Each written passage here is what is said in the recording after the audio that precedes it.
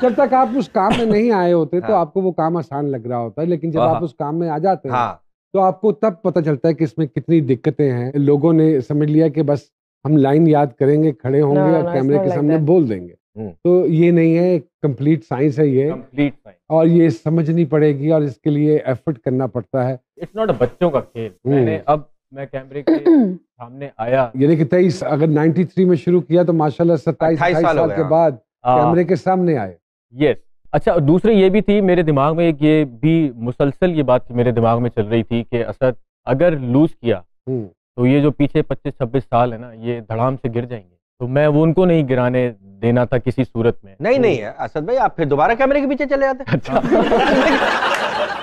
कैमरे के पीछे तो मैं अभी भी अभी भी है ना? अभी भी है। हैं और अच्छा नुमान सर जिस तरह सिंगर्स रियाज करते हैं तो आप लोग भी कभी बिहाइंड दी कैमरा शीशे के सामने रिहर्सल्स करते हैं? हाँ हेलो सरकार मैं आज तक करता हूँ। अच्छा कौन सी जगह जो शीशा लगा होता है वहाँ सबसे ज़्यादा करते हैं? बहुत जगह पे बताऊँगा। हाँ।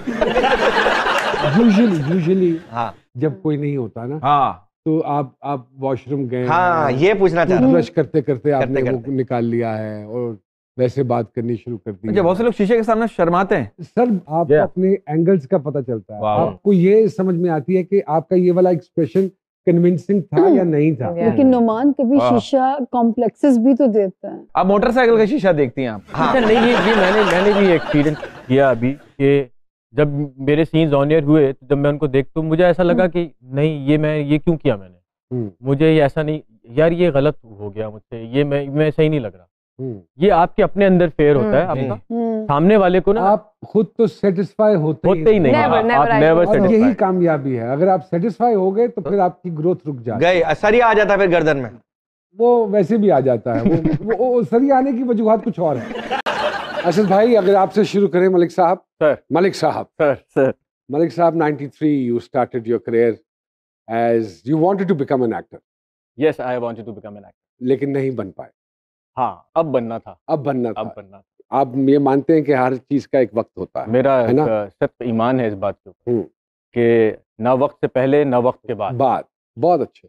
क्या किया आपने फिर जब एक्टर नहीं बन पाए 93 में? फिर मैंने वेडिंग फोटोग्राफी इत्तेफाकन शुरू हुई। शुरू कर दी। तो बस एक दफ़ा जब कैमरे में झांका हाँ। तो फिर उससे आँख निकली नहीं दोबारा। फिर फंस गई। फंस गई आँख। और फिर और मैं बड़ी मुझे उसमें शुक्र अल्लाह का कि आँख फंसी रही वहाँ। फंसी रही और एक्सपर्ट हो गए माशाल्लाह माशाल्लाह माशाल्लाह। And you are indeed I mean I have seen your work brilliant work by you उसके बाद एडिटिंग भी सीखी। यस yes, uh, मैंने non linear editing and three animation में डिप्लोमा किया।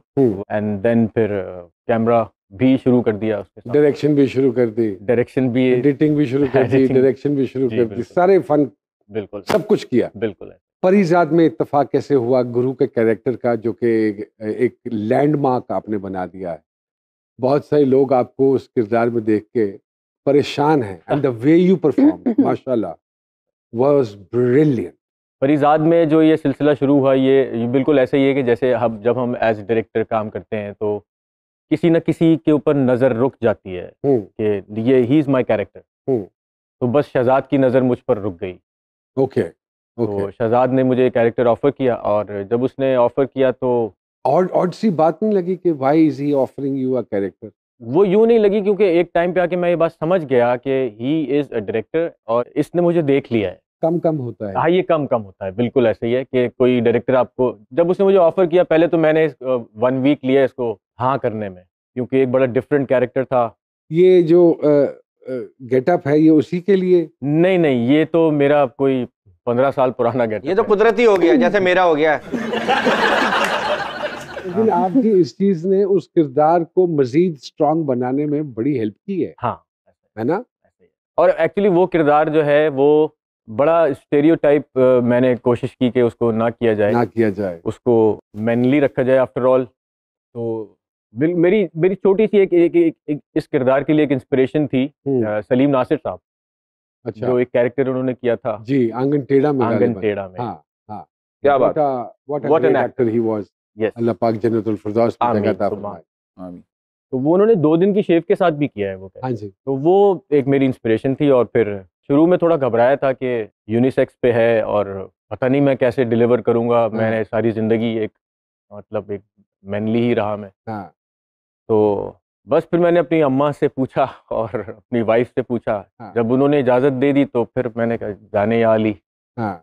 और मैं कर गया। माशाल्लाह। इतनी डायरेक्शन भी दी है। जी। कैसा महसूस होता है जब किसी की डायरेक्शन में इंसान काम करता है? हम्म, में मेरा एक ना छोटा सा एक मेरा एक मसला कह लें या तरीका कह लें कि जब मैं एज डीपी काम करता हूँ तो आई एम डीपी मेरे वो दो दूसरा खाना डायरेक्शन का वो बंद हो जाता है। ऑटोमेटिकली वो बंद हो जाता है। हम्म, और जब मैं एज डायरेक्टर काम करता हूँ तो वो दूसरा जो डीपी का खाना है वो स्लाइटली सा ओपन रहता है लेकिन वो समझ के बंद होता है।